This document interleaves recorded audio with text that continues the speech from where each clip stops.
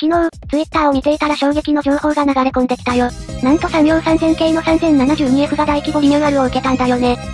写真を見るに帯は剥がされており、なんと前面の行き先表示器は6000系と同型のフルカラー LED 式となっているよ。おそらく、6000系や5000系リニューアル車に準じた塗装へと変更されるのではないかと踏んでいるよ。